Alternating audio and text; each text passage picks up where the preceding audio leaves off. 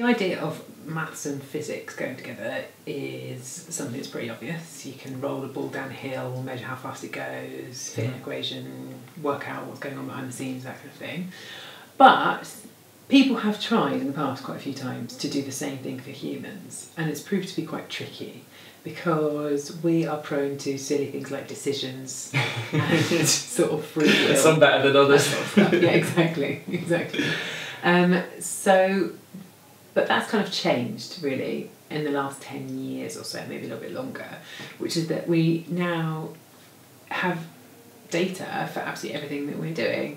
And so you can look through that data and start to study ourselves as humans in the same way that you can physical systems. And it's still a lot messier, granted, Mhm. but there are ways to pick up on little patterns that you can find in the data.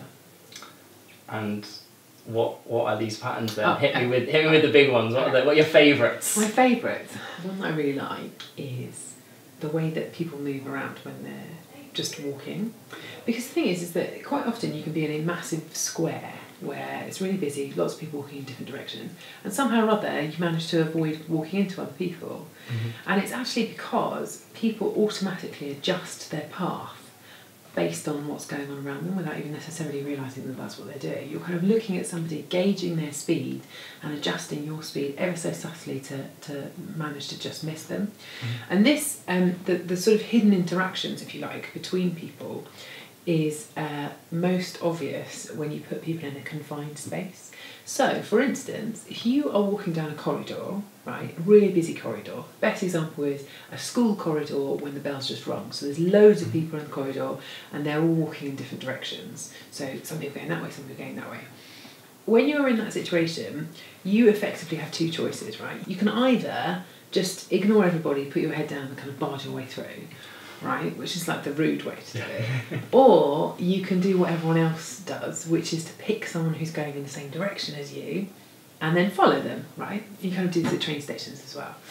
Um, but what that means is that because people are making these kind of invisible connections with other people, you end up with these lanes of traffic that form from nowhere.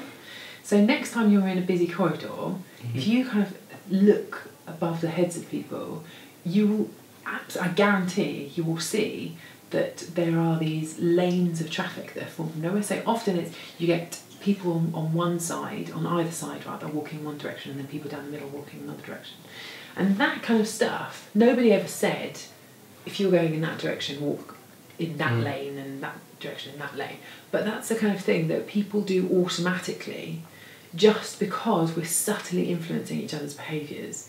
And that is something that you can really only analyse if you're looking at human behaviour through that lens of data and mathematics.